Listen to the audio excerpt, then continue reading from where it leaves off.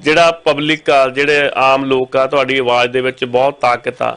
ਇਹ ਚੀਜ਼ਾਂ ਤਾਂ ਹੀ ਹੋਈਆਂ ਨੇ ਕਿਉਂਕਿ ਲੋਕਾਂ ਨੇ ਕਹਿਣਾ ਸ਼ੁਰੂ ਕਰਤਾ ਸੀ ਵੀ ਭਾਈ ਆਹ ਦੇਖੋ ਕੀ। ਕਰਦੇ ਆਹ ਦੇਖੋ ਕੀ ਕਰਦੇ ਜੇ ਕਿਸੇ ਦਾ ਘਰ ਲਿਆ ਘਰ ਭੰਤਾ ਮੈਨੂੰ ਲੱਗਦਾ ਆਉਣ ਵਾਲੇ ਸਮੇਂ ਦੇ ਵਿੱਚ ਆ ਵੀ ਰੂਲ ਹੋ ਜਾਣਾ ਵੀ ਤੁਸੀਂ ਬਾਇਲ ਆ ਕਿਸੇ ਦੀ ਫੋਟੋ ਨਾ ਸੋਸ਼ਲ ਮੀਡੀਆ ਤੇ ਪਾ ਸਕਦੇ ਹੋ ਨਾ ਬਾਇਲ ਆ ਤੁਸੀਂ ਕਿਸੇ ਨੂੰ ਗਲਤ ਲਿਖ ਸਕਦੇ ਹੋ। ਜਿਹੜੀਆਂ ਰੇਟਿੰਗ ਆ ਇਹ ਵੀ ਉਹਨਾਂ ਨੇ ਕਹਿਤਾ ਵੀ ਜੇ ਕੋਈ ਰੇਟਿੰਗ ਗਲਤ ਦਊਗਾ ਕਿਉਂਕਿ ਮੰਨ ਲਾ ਵੀ ਤੁਹਾਡੇ ਨਾਲ ਕੋਈ ਰੌਲਾ, ਮੇਰੇ ਨਾਲ ਕੋਈ ਰੌਲਾ, ਇਹਨਾਂ ਨੇ ਕੁਝ ਨਹੀਂ ਕਰਨਾ, ਜਾ ਕੇ ਤੁਹਾਡੀ ਸਾਈਟ ਤੇ ਜਾ ਕੇ ਗਲਤ ਕਮੈਂਟ ਪਾਣੇ ਆ। ਆਪਣੇ ਲੋਕਾਂ ਦੇ ਜਿਹੜੇ ਇਹਨਾਂ ਦੇ ਖਾਸ ਆ, ਉਹਨਾਂ ਦੇ ਚੰਗੇ ਪਾਣੇ ਆ। ਸੋ ਰੇਟਿੰਗ ਵਾਲਾ ਕੰਮ ਵੀ ਜਿਹੜਾ ਵਾ ਫਰਾਡ ਦੇ ਵਿੱਚ ਗਿਣਿਆ ਜਾਂਦਾ ਵੀ ਅਸਲ ਰੇਟਿੰਗ ਹੋਣੀ ਚਾਹੀਦੀ ਹੈ ਜਿਹੜਾ ਬੰਦਾ ਕਮੈਂਟ ਕਰੂਗਾ, ਉਹਨੂੰ ਦੱਸਣਾ ਪਊਗਾ ਵੀ ਇੱਥੇ ਮੈਂ ਫਲਾਣੇ ਨਾਂ ਤੇ ਕੰਮ ਕੀਤਾ ਜਾਂ ਮੈਂ ਫਲਾਣੇ ਤੋਂ ਆਹ ਪ੍ਰਾਪਰਟੀ ਲਈ ਆ, ਤਾਂ ਰੇਟਿੰਗ ਹੋਣੀ ਹੈ ਇਹ ਸਾਰਾ ਕੁਝ ਕਿਉਂ ਹੋਇਆ? ਕਿਉਂਕਿ ਸਪੀਡ ਬਾਹਲੀ ਫੜੀ ਸੀ। ਸੋ ਇਹਦੇ ਵਿੱਚ ਚੰਗੇ ਲੋਕਾਂ ਦਾ ਨੁਕਸਾਨ ਹੋ ਜਾਣਾ। ਮੈਂ ਕਿਹਾ ਮੈਂ ਵੀ ਅਪਡੇਟ ਦੇ ਦਾਂ ਭਾਜੀ ਉਹ ਇੰਟਰਨੈਸ਼ਨਲ ਸਟੂਡੈਂਟ ਤੇ ਉਹਨਾਂ ਨੇ ਕੀ ਕਹਿੰਦੇ ਨੇ 35% ਭਾਜੀ ਉਹਨਾਂ ਨੇ ਕੱਟ ਆਫ ਕਰਤਾ ਕੈਪ ਲਾਤਾ ਆ। ਵਾਹ। 2024 ਦੇ ਵਿੱਚ ਉਹਨਾਂ ਨੇ ਆਈ ਥਿੰਕ 3 ਲੱਖ ਕੁਛ ਪਹਿਲਾਂ ਪਿਛਲੇ ਸਾਲ 9 ਲੱਖ ਤੋਂ ਉੱਤੇ 1.1 ਮਿਲੀਅਨ ਤੋਂ ਉੱਤੇ ਸਟੂਡੈਂਟ ਵੀਜ਼ੇ ਹੋ ਗਏ ਸੀ ਹੁਣ 3 ਲੱਖ ਤੇ 70000 64000 ਨੇ ਹਜੇ ਇੰਨੀ ਨਿਊ ਦੀ ਆਈ ਆ। ਸਾਲ ਦੇ ਉਹਨਾਂ ਨੇ ਆ 2024 ਦੇ ਵਿੱਚ 3 ਲੱਖ 64000 ਬੱਚਾ ਬੁਲਾਉਣਾ ਆ, ਹਨਾ ਜੀ? ਇਹ ਵੀ ਉਹਨਾਂ ਲੋਕਾਂ ਨੂੰ ਵਧਾਈਆਂ ਤੇ ਡੱਬਾ ਭੇਜ ਦਿਓ, ਜਿਨ੍ਹਾਂ ਦਾ ਆਪਾਂ ਗੱਲ ਕੀਤੀ ਸੀ ਵੀ ਇਹਨਾਂ ਨੇ ਤੁਹਾਡਾ ਨੁਕਸਾਨ ਕਰਨਾ, ਆਉਣ ਵਾਲਿਆਂ ਲਈ ਇਹਨਾਂ ਨੇ ਦਰਵਾਜ਼ੇ ਬੰਦ ਕਰਨੇ ਤੇ ਕਈ ਲੋਕ ਕਹਿੰਦੇ ਸੀ, ਲੈ ਇੱਥੇ ਬੈਠੇ ਜਬਲੀਆਂ ਮਾਰੀ ਜਾਂਦੇ ਆ। ਆ ਹੁਣ ਡੱਬਾ ਤੇ ਨਾ ਲੱਡੂ ਲਿਆ ਕੇ ਦੇ ਦਿਓ ਉਹਨਾਂ ਨੂੰ ਹੁਣ। ਇਹਨਾਂ ਭਾਜੀ ਇਹਨਾਂ ਨੂੰ ਕਰਨਾ ਪੈਣਾ ਸੀਗਾ ਬਹੁਤ ਜ਼ਿਆਦਾ ਫਰਾਡ ਹੋ ਰਹੇ ਸੀ। ਇਮੀਗ੍ਰੇਸ਼ਨ ਮਿਨਿਸਟਰ ਨੇ ਵੀ ਇਹੀ ਕਿਹਾ ਕਿ ਮੈਨੂੰ ਪਤਾ ਆਈ ਨੋ ਕਿ ਬਹੁਤ ਜ਼ਿਆਦਾ ਫਰਾਡ ਹੋ ਰਹੇ ਸੀ। ਪਿਛਲੀ ਵਾਰੀ ਉਹਨੇ ਦੱਸਿਆ ਸੀ ਇਸ ਕਰਕੇ ਉਹਨੇ 35% ਕੈਪ ਲਾਤੀ ਹੋਈ ਆ 35% ਬੱਚਿਆਂ ਨੂੰ ਉਹਨਾਂ ਨੇ ਵੀਜ਼ੇ ਨਹੀਂ ਮਿਲਨੇ ਆ। ਕਿ ਸਿਰ 3 ਲੱਖ 64000 ਬੱਚਾ ਆ ਜਾਂ ਇੰਨਾ ਕਢਾਉਣਾ ਸਾਢੇ ਕੁ ਤਿੰਨ ਪੌਣੇ ਕੁ 4 ਲੱਖ ਬੱਚਾ ਹੋਣਾ। ਪਿਛਲੇ ਸਾਲ 1.1 ਮਿਲੀਅਨ ਤੋਂ ਉੱਤੇ ਟੱਪ ਗਿਆ ਸੀ। ਨਾਲੇ ਵੀਰ ਕਿੰਨੇ ਦੇਸ਼ਾਂ ਚੋਂ ਮਿਲਿਆ ਜਿਹੜਾ 35% ਵਾਲਾ ਜਿਹੜਾ ਫਾਰਮੂਲਾ ਦੇਖ ਲਿਓ ਤੁਹਾਡੇ ਸਾਹਮਣੇ ਹੀ ਆ, ਇਹ ਨਾਰਥ ਇੰਡੀਆ ਚ ਹੀ ਲਾਉਣਗੇ, ਦੇਖ ਲਿਓ। ਬਿਲਕੁਲ ਭਾਜੀ, ਬਿਲਕੁਲ ਬਿਲਕੁਲ, ਕੀ ਕਹਿੰਦੇ ਨੇ, ਬਹੁਤ, ਚਲੋ, ਜੋ ਦੇਰ ਆਏ ਦਰੁਸਤ ਆਏ ਭਾਜੀ ਪਹਿਲਾਂ ਆਪਾਂ ਸਟੂਡੈਂਟ ਵੀਜ਼ੇ ਦੇ ਖਿਲਾਫ ਨਹੀਂ ਹੈਗੇ, ਪਰ ਭਾਜੀ ਜਿਹੜੇ ਪਹਿਲਾਂ ਇੱਥੇ ਬੱਚੇ ਆਏ, ਉਹਨਾਂ ਨੂੰ ਤਾਂ ਸਾਂਭ ਲਓ, ਉਹ ਵਿਚਾਰੇ ਦਰ ਦੀਆਂ ਠੋਕਰਾਂ ਖਾਈ ਜਾਣ ਡੇ ਪਏ ਆ ਫਰੋਡ ਫਰੋਡ ਫਰੋਡ ਦੇ ਚੱਕਰਾਂ ਦੇ ਵਿੱਚ ਫਸੀ ਜਾ ਰਹੇ ਕਿੰਨਾ ਪੈਸਾ ਹੈ ਇਹ ਹੁਣ ਆ ਜਿਹੜੇ ਆ ਝੋਲੀ ਚੱਕ ਘੜਮ ਚੋਦਲੀ ਜਿਹੜੇ ਏਜੰਟ ਹੋਣੇ ਇਹਨਾਂ ਦਾ ਵੀ ਹੁਣ ਬਾਜੇ ਵੱਜਣਗੇ ਹਨਾ। ਇਹਨਾਂ ਦਾ ਵੀ ਹੁਣ ਕੰਮ ਨੁਕਸਾਨ ਇਹਨਾਂ ਦਾ ਵੀ ਹੁਣ ਕੰਮ ਤੇ ਵੀਰ ਤੁਹਾਡਾ ਵਿਸ਼ਾ ਅੱਜ ਬਹੁਤ ਵਧੀਆ ਮੈਂ ਚਾਹੁੰਦਾ ਵੀ ਜਿਹੜਾ ਤੁਸੀਂ ਵਿਸ਼ਾ ਲਿਆਂਦਾ ਵਾ ਕਿਉਂਕਿ ਆਪਾਂ ਦੋ ਤਿੰਨ ਵਿਸ਼ੇ ਹੋਏ ਆ ਜਿਹੜਾ ਤੁਸੀਂ ਆ ਵਿਸ਼ਾ ਲਿਆਂਦਾ ਇਹਦੇ ਤੇ ਗੱਲ ਕਰਨੀ ਬਣਦੀ ਆ ਕਿਉਂਕਿ ਬਿਲਕੁਲ ਭਾਜੀ ਨਾਲੇ ਭਾਜੀ ਆਪਣੇ ਲੋਕਾਂ ਨੂੰ ਜਿਹੜੇ ਇੰਟਰਨੈਸ਼ਨਲ ਸਟੂਡੈਂਟ ਵਰਕ ਪਰਮਿਟ ਤੇ ਆਉਂਦੇ ਆ ਇਹਨਾਂ ਨੂੰ ਪਤਾ ਨਹੀਂ ਹੈਗਾ ਕੈਨੇਡੀਅਨ ਕਨਸਟੀਟਿਊਸ਼ਨ ਦੇ ਹਿਸਾਬ ਨਾਲ ਜੇ 4 40 ਮਿਲੀਅਨ ਦੀ ਪੋਪੂਲੇਸ਼ਨ ਆ ਉਹ 4.5 ਲੱਖ ਬੰਦਾ ਹੀ ਸਾਲ ਦਾ ਪੱਕਾ ਕਰ ਸਕਦੇ ਇਸ ਤੋਂ ਵੱਧ ਨਹੀਂ ਕਰ ਸਕਦੇ। ਉਹਦੇ ਵਿੱਚ 4.5 ਲੱਖ ਬੰਦੇ ਦੇ ਵਿੱਚ ਸਟੂਡੈਂਟ ਵੀ ਆਉਣੇ ਆ ਜਿਹਨਾਂ ਦੇ ਵਰਕ ਪਰਮਿਟ ਲੈ ਕੇ ਪੱਕੇ ਹੋਣਾ ਵਰਕ ਪਰਮਿਟ ਵਾਲੇ ਵੀ ਹੈਗੇ ਆ ਤੇ ਜਿਹੜੇ ਪੁਆਇੰਟ ਬੇਸ ਤੇ ਇੰਡੀਆ ਤੋਂ ਪੀਆਰ ਆਉਂਦੇ ਉਹ ਵੀ ਹੈਗੇ ਆ ਸਿਰਫ ਇਹਨਾਂ ਦੇ ਸਾਲ ਦਾ 4.5 ਲੱਖ ਬੰਦਾ ਕਰਨਾ ਪੱਕਾ। ਹਨਾ ਹੁਣ ਜਿਹੜੇ ਪਹਿਲਾਂ ਇੱਥੇ ਫਸੇ ਪਏ ਆ ਭਾਜੀ ਹੁਣ ਉਹਨਾਂ ਦੀ ਵਾਰੀ ਆ ਡੋਨਟ ਹੁਣ ਤੁਸੀਂ ਜੇ ਪਿੱਛੇ ਡਾਟੇ ਕਿਸੇ ਵੀ ਇਮੀਗ੍ਰੇਸ਼ਨ ਬੰਦੇ ਨੂੰ ਬੁਲਾ ਕੇ ਪੁੱਛ ਲਵੋ ਕੰਸਲਟੈਂਟ ਨੂੰ ਭਾਜੀ ਡਰਾ ਨਿਕਲਦੇ ਨਹੀਂ ਪਏ ਹੈਗੇ ਇੰਨੇ, ਹਨਾ? ਵੀ ਜਿਹੜੇ ਆਪਣੇ ਐਕਸਪਰਟ ਸੈਂਟਰੀ ਦੇ ਡਰਾ ਵੀ ਨਹੀਂ ਨਿਕਲਦੇ ਪਏ, ਉਸ ਹਿਸਾਬ ਦੇ ਨਾਲ ਭਾਜੀ ਇਹ ਕੈਪ ਹੁਣ ਲੱਗੀ ਹੋਈ ਆ, ਹੁਣ ਧਿਆਨ ਦੇਣਾ ਬਹੁਤ ਮੰਗਦੇ ਆ ਜਿਹੜੇ ਕਿ ਆਪਣੇ ਤੇ ਵੀਰ ਮੈਂ ਇੱਕ ਦੋ ਇਮੀਗ੍ਰੇਸ਼ਨ ਆ। ਨੂੰ ਜਾਣਦਾ ਵਾਂ ਜਿਨ੍ਹਾਂ ਨੇ ਸਵੇਰੇ ਤੇ ਦੁਪਹਿਰ ਦੀ ਰੋਟੀ ਘਟਾਤੀ ਕਹਿੰਦੇ ਸਟੂਡੈਂਟ ਕੋਈ ਆ ਨਹੀਂ ਰਿਹਾ ਸਾਡੇ ਤਾਂ ਕਹਿੰਦੇ ਦਫ਼ਤਰ ਬੰਦ ਹੋਣ ਦੇ ਕਿਨਾਰੇ ਆ ਭੁੱਖੇ ਨੰਗੇ ਬੈਠੇ ਆ ਕਈ ਕਈ ਨੂੰ ਮੈਂ ਜਾਣਦਾ। ਬਿਲਕੁਲ ਭਾਜੀ ਇਹਨਾਂ ਦਾ ਵੇਖਿਓ ਹਾਲ ਕਿੱਦਾਂ ਬੁਰਾ ਹੋਣਾ ਇਹ ਚਲੋ ਕੈਨੇਡੀਅਨ ਗਵਰਨਮੈਂਟ ਚਲੋ ਕੈਨੇਡਾ ਦਾ ਰੂਲ ਥੋੜੇ ਲੇਟ ਰਿਐਕਟ ਕਰਦੇ ਆ ਪਰ ਜਦੋਂ ਰਿਐਕਟ ਕਰਦੇ ਆ ਬਹੁਤ ਵਧੀਆ ਰਿਐਕਟ ਕੀਤਾ ਭਾਜੀ ਹਨਾ? ਪਹਿਲਾਂ ਜੇਸਨ ਕੈਨੀ ਨੇ ਚਲੋ ਮੈਂ ਤਾਂ ਕਹਿੰਦਾ ਜੇਸਨ ਕੈਨੀ ਵਰਗਾ ਇਮੀਗ੍ਰੇਸ਼ਨ ਮਿਨਿਸਟਰ ਹੋਣਾ ਚਾਹੀਦਾ ਭਾਜੀ ਉਹ ਤੇ ਬਹੁਤ ਉਹਨੇ ਤੇ ਬਹੁਤ ਵਧੀਆ ਕੰਮ ਕੀਤੇ ਆ ਹਨਾ। ਉਹਨਾਂ ਦੇ ਰੂਲ ਵੀ ਵਧੀਆ ਸੀਗੇ ਪਹਿਲਾਂ ਐਕਸਪ੍ਰੈਸ ਐਂਟਰੀ ਇੱਕ ਸਾਲ ਆਪਣੀ ਫੀਲਡ 'ਚ ਕੰਮ ਕਰੋ ਨਾਲ ਹੀ ਪੀਆਰ ਦਿੰਦੇ ਸੀ। ਹੁਣ ਜੈ ਜੈ ਫਰਾਡ ਵਧੀ ਜਾਂਦਾ ਜੈ ਜੈ ਇਮੀਗ੍ਰੇਸ਼ਨਾਂ ਦਾ ਲਾਲਚ ਵਧੀ ਜਾਂਦਾ ਉਹ ਲਾਲਚੀ ਜਿਹੜੇ ਜਿਹੜੇ ਜਿਹਨਾਂ ਨੇ ਹੁਣ ਦੇਖੋ ਚੰਗੇ ਬੱਚਿਆਂ ਨੇ ਭਾਜੀ ਨਾਲੇ ਖਰਾਬ ਹੋਣਾ ਆ ਹਨਾ। ਚਲੋ ਆਪਾਂ ਨੇ ਸਾਰਿਆਂ ਦਾ ਭਲਾ ਹੀ ਮੰਗਦੇ ਆ ਪਰ ਜੋ ਵੀ ਹੋਇਆ ਭਾਜੀ ਚਲੋ ਵਧੀਆ ਹੋਇਆ ਹਨਾ। ਚਲੋ ਮੈਨੂੰ ਲੱਗਦਾ ਵੀ ਆਉਣ ਵਾਲੇ ਸਮੇਂ ਦੇ ਵਿੱਚ ਝੱਗਾ ਜਿਹਾ ਮੈਂ ਚਾਹਣਾ ਵਾਂ ਤਾਂ ਜਿਹੜੀ ਲਾਈਟਾਂ ਵਾਲੀ ਗੱਲ ਹੈ ਸੱਚੀ ਹੋਣੀ ਆ। ਆਪਾਂ ਜਿਹੜੀ ਇੱਥੇ ਗੱਲ ਕਰਦੇ ਆ ਹੋ ਜਾਂਦੀ ਆ। ਪਿੱਛੇ ਜੇ ਆਪਾਂ ਸ਼ੁੱਕਰਵਾਰ ਹਾਸੇ ਖੇਡੇ ਜੀ ਭਾਨੇ ਦਾ ਨਾਮ ਲੈ ਲਿਆ ਬਾਅਦ ਵਿੱਚ ਲੱਗਿਆ ਚੱਕ ਅੰਦਰ ਕਰਤਾ। ਇਹ ਕੀ ਚੱਕਰ ਕੀ ਆ ਇਹ? ਭਾਜੀ ਆਪਾਂ ਮਜ਼ਾਕ ਕਰਦੇ ਅਗਲੇ ਦਾ ਕੁੰਡਾ ਹੋ ਜਾਂਦਾ। ਕੋਈ ਨਾ ਭਾਜੀ ਹੁਣ ਵੇਖੀ ਜਾਇਓ ਬਣਦਾ ਕੀ ਹੁਣ? ਹੁਣ ਬਸ ਦੇਖੀ ਜਾਇਓ ਤੁਸੀਂ ਜਿਹੜਾ ਬਣਦਾ ਜੀ ਹੁਣ ਐਲਐਮਆਈ ਵਾਲੀ ਅੱਗੇ ਆਉਣੇ ਆ। ਥੈਂਕ ਯੂ ਜੋਤੀ ਮੇਰੇ ਬਹੁਤ ਬਹੁਤ thank you so much Waheguru Khalsa Waheguru ji ਕੀ ਫਤਿਹ। ਸੋ ਜਦੋਂ ਵੀਰ ਕਾਲ ਕਰਦਾ ਤਾਂ ਦੋ ਵਾਰੀ ਪ੍ਰਮਾਤਮਾ ਦਾ ਮੇਰੇ ਤੋਂ ਨਾਮ ਲੈ ਹੋ ਜਾਂਦਾ ਸੋ ਧੰਨਵਾਦ ਕਰਦਾ, ਵੀਰ ਜਦੋਂ ਵੀ ਕਾਲ ਕਰਦਾ, ਫਤਿਹ ਜਰੂਰ ਸਾਂਝੀ ਕਰਦਾ। ਦਿਲੋਂ ਸਲਾਮ ਹੈ ਇਸ ਵੀਰ ਨੂੰ। ਸੋ ਮਿਸ਼ੂ ਜੀ ਫਤਿਹ ਸਾਂਝੀ ਕਰ ਰਿਹਾ, ਮਾਨ ਸਾਹਿਬ ਫਤਿਹ ਸਾਂਝੀ ਕਰ ਰਹੇ ਨੇ। ਕਲਜੀਤ ਜੀ ਕਹਿੰਦੇ, ਵੀਰ ਜੀ ਸਟੂਡੈਂਟ ਨੂੰ ਸਹੀ ਹੈਲਪ ਮਿਲਣੀ ਚਾਹੀਦੀ ਆ, ਪਰ ਕਈਆਂ ਕੋਈ ਵੀ ਹੈਲਪ ਨਹੀਂ ਕਰਦਾ, ਨਾ ਗਵਰਨਮੈਂਟ ਨਾ ਹੀ ਅਸੀਂ। ਦੱਸੋ ਜੀ, ਕਿੱਦਾਂ ਦੀ ਹੈਲਪ ਚਾਹੀਦੀ ਆ? ਸੋ ਗਗਨਵੀਰ ਲਿਖ ਰਿਹਾ, ਕਹਿੰਦੇ, ਇੱਕ ਢਿੱਲੀ ਪੈਂਟ ਵਾਲਾ ਏਜੰਟ ਆ, ਉਹ ਤਾਂ ਬਹੁਤ ਪੈਸਾ ਕਮਾ ਗਿਆ। ਉਹ ਤਾਂ ਕਈ ਹਜ਼ਾਰਾਂ ਕਰੋੜ ਅੰਦਰ ਕਰ ਗਿਆ, ਪਰ ਪੈਂਟ ਫਿਰ ਵੀ ਉਹਦੇ ਢਿੱਡ ਤੇ ਖੜੀ ਨਹੀਂ। ਸੋ ਇਹੋ ਜਿਹੇ ਪੈਸੇ ਨੂੰ ਕੀ ਕਰਨਾ? ਤੁਹਾਡੀ ਬਾਡੀ ਉੱਤੇ ਪੈਂਟ ਹੀ ਨਹੀਂ ਖੜਦੀ। ਸੋ ਜਿਹੜੀ ਆਪਾਂ ਰਲ ਮਿਲ ਕੇ ਅੱਜ ਗੱਲ ਕਰਨੀ ਆ, ਕੀ ਤੁਸੀਂ ਚਾਹੁੰਦੇ ਹੋ ਐਲਐਮਆਈ ਫਰਾਡ ਬੰਦ ਹੋਣਾ ਚਾਹੀਦਾ? ਕੀ ਤੁਸੀਂ ਚਾਹੁੰਦੇ ਹੋ ਅੰਡਰ ਦਾ ਟੇਬਲ ਕੋਈ ਵੀ ਕੰਮ ਆ ਬੰਦ ਹੋਣਾ ਚਾਹੀਦਾ? ਕੀ ਤੁਸੀਂ ਚਾਹੁੰਦੇ ਹੋ ਲਾਈਟਾਂ ਉੱਤੇ ਮੰਗਣ ਵਾਲਿਆਂ ਦੀ ਗਿਣਤੀ ਘਟਣੀ ਚਾਹੀਦੀ ਆ? ਤਾਂ 905 405 0002 ਤੇ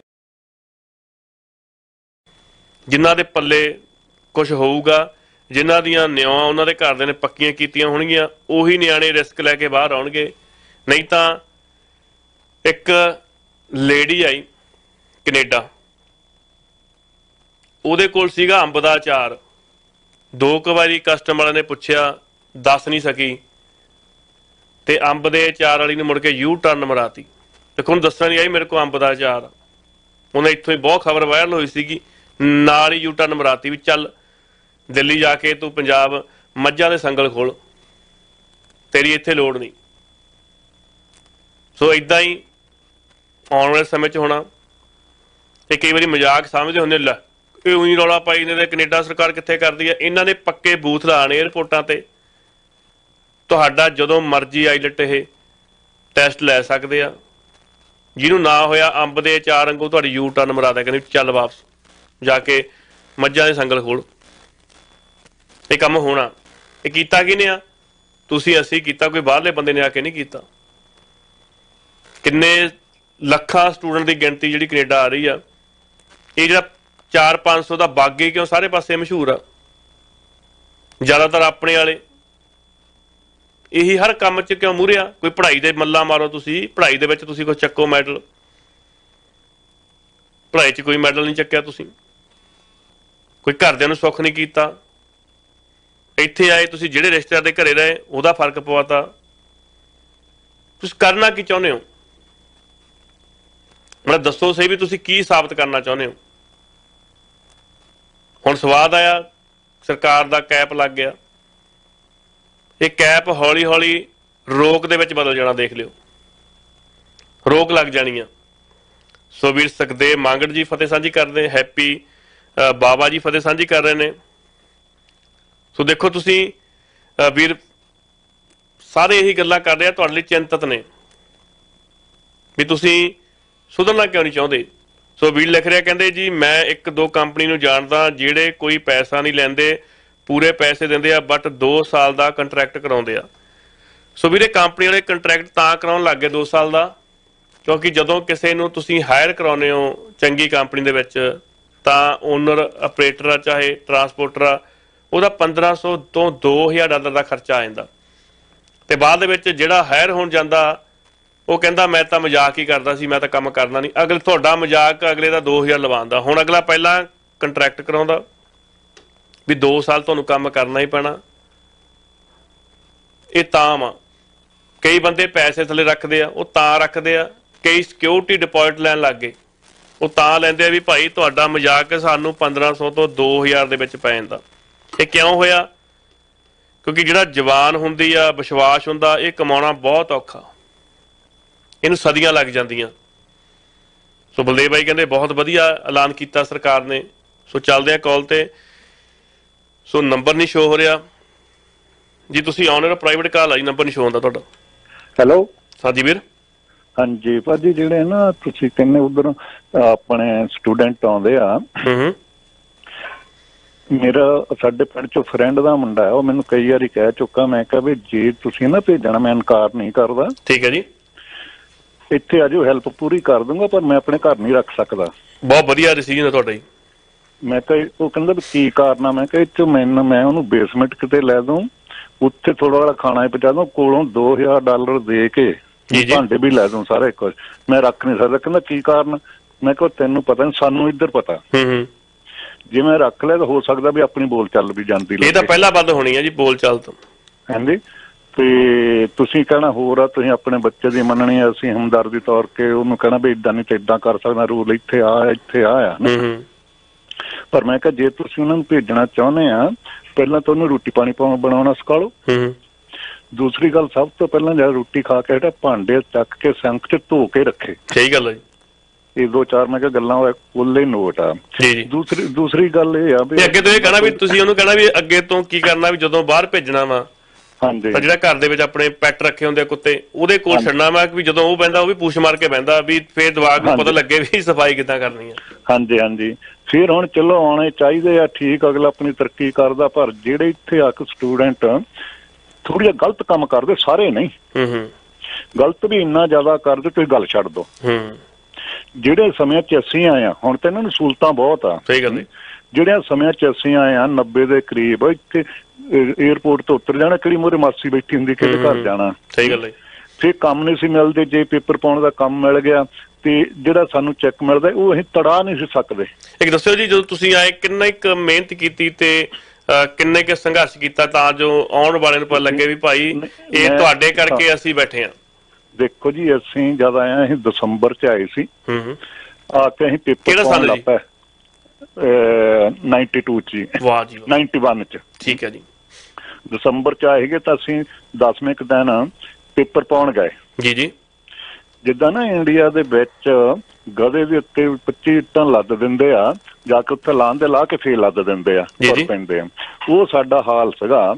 ਮੇਰੇ ਇਦਾਂ ਬਸਤਾ ਇੱਥੇ ਪਾਇਆ ਤਾਂ ਐਨ ਭਰਿਆ ਹੋਣਾ ਤਾਂ ਕੁਝ ਪੇਪਰ ਕੁਣੀ ਤੇ ਰੱਖੇ ਹੋਣੇ। ਠੀਕ ਹੈ ਜੀ। ਮੈਨੂੰ ਮੇਰੇ ਨਾਲ ਦਾ ਮੁੰਡਾ ਕਹਿੰਦਾ ਹੌਲੀ ਪਾ ਤੇ ਥੱਕ ਜਾਣਾ ਹਨਾ? ਪਹਿਲਾਂ ਤਾਂ ਮੈਂ ਕਿਹਾ ਨਹੀਂ ਕੋਈ ਫ਼ਰਕ ਨਹੀਂ। ਉਹ ਥੋੜੀ ਕਾਲੀ ਪੈ ਕੇ ਨਾ ਖੜਦੇ ਆ। ਮੂਹਰੇ ਜਾ ਕੇ ਬੈਨ ਵਾਲਾ ਫੇਰ ਖੜਾ ਹੋਣਾ। ਅੱਛਾ ਜੀ। ਜਾਂ ਫੇਰ ਉਹ ਪਾਇਓ। ਆ ਫੇਰ ਕਹਿੰਦਾ ਇੰਨਾ ਚ ਪਾਇਆ ਡਾਊਨਟਾਊਨ ਚ 20 ਪੌੜੀਆਂ ਚੜ੍ਹਨੀਆਂ 20 ਉਤਰਨੀਆਂ ਦੁਕਾਨਾਂ ਦੇ ਉੱਤਾ ਹੋ ਗਈ ਬੱਸ। ਹੂੰ ਹੂੰ।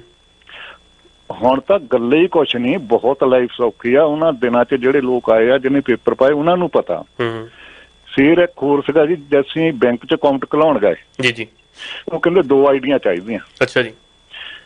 ਇੱਕ ਤਾਂ ਮੈਂ ਪਾਸਪੋਰਟ ਦੀ ਦੇ ਦਿੱਤੀ। ਹੂੰ ਹੈਲਥ ਕਾਰਡ ਨੂੰ ਮੰਨਦੇ ਨਹੀਂ ਸੀ। ਠੀਕ ਹੈ ਜੀ। ਮੈਂ ਕਿਹਾ ਵੀ ਅਸੀਂ ਖਲਾਈਏ ਕਿੱਥੋਂ ਦੂਜੀ ਆਈਡੀ ਕਿੱਥੋਂ ਲਈਏ? ਜੀ। ਜੇ ਲਾਇਸੈਂਸ ਲੈਣ ਜਾਣਾ ਕੁਝ ਤੇ ਵੀ ਜਾਣਾ ਦੋ ਆਈਡੀਆਂ ਦਿਓ। ਜੀ। ਫਿਰ ਇੱਕ ਬੈਂਕ 'ਚ ਆਪਣੇ ਪੰਜਾਬੀ ਕੁੜੀ ਲੱਗੀ ਸੀ। ਠੀਕ ਹੈ ਜੀ। ਉਹ ਕਹਿੰਦੇ ਕਿਤੇੋਂ ਵੀ ਆਪਣੀ ਇੱਕ ਚਿੱਠੀ ਮੰਗਾ। ਹੂੰ ਹੂੰ। ਐਮਪੀ ਦੇ ਨਾਂ ਤੇ ਕਿੱਦਾਂ ਕਿਸੇ ਕਿਤੇ ਵੀ ਇੱਕ ਮੰਗਾ ਲਾ। ਫਿਰ ਉਹ ਮੈਂ ਅਸੀਂ ਐਮਪੀ ਕੋ ਗਏ ਉਹ ਕਹਿੰਦਾ ਵੀ ਮੈਂ ਤੇਰੇ ਨਾਂ ਪਾ ਨਹੀਂ ਸਕਦਾ। ਅੱਛਾ ਜੀ। ਫਿਰ ਬ੍ਰਦਰ ਦੇ ਨਾਂ ਪਾ ਕੇ ਤਾਂ ਉਹ ਐਡਰੈਸ ਦੇ ਕੇ ਤਾਂ ਫਿਰ ਉਹ ਚਿੱਠੀ ਆਈ ਫੇਰ ਅਕਾਊਂਟ ਖੋਲੇ 3 ਮਹੀਨੇ